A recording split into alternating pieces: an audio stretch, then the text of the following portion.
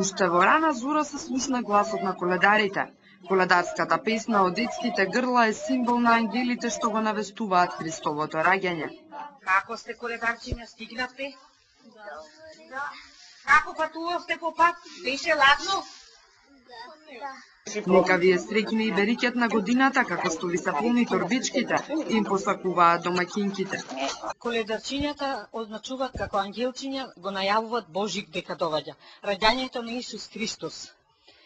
Овој празник е најголем празник, верски празник. Најмладите ќе бидат најстрекни ако годинава им се исполнат жилбите. Пред две години беше најубаво за мене.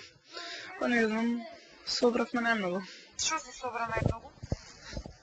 Овој. Што си подакати за нова година да умреш? Си ја за нова година за да на да умреш, за да умреш си посакав да да имам телефон мобилен.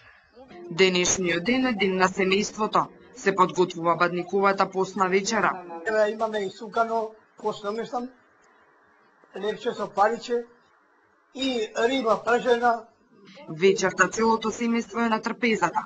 Се крши бадниковото лепче со паричка се дели на неколку делови, за секој член од семејството, за домот и за Господ. Оној кому ќе му падне паричката, се верува дека ќе има најмногу среќа оваа година. Сакамо цел, цел народ да биде среќен и сите да бидеме заеднички, не да се делиме едни со други. Бадник е последниот ден од 40-дневниот пост. По вечерата трпезата се остава полна цела вечер.